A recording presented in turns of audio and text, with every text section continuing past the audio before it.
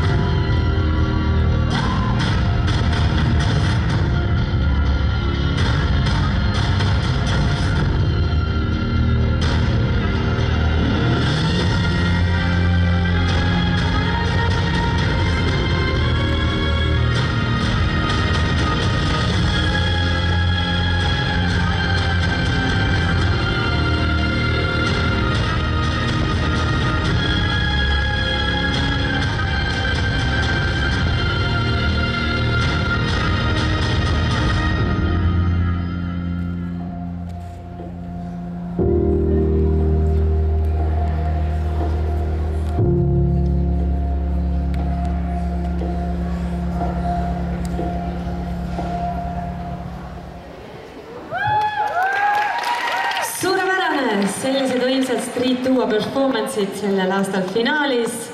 tundub, et